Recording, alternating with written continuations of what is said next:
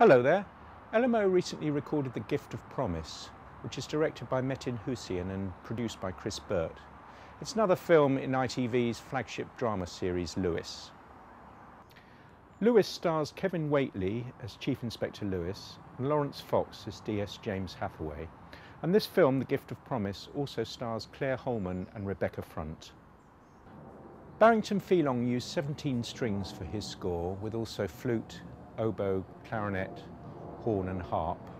He also conducted the session at Abbey Road Studio 1 and was assisted by Matt Slater and Paul Golding as engineer. You can see the gift of promise in the new Lewis series which starts soon on ITV1. Meanwhile, here's a cue.